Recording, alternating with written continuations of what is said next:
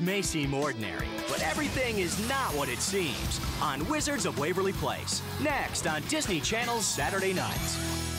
Hi, I'm Jennifer Stone from Wizards of Waverly Place, and you're watching Disney Channel.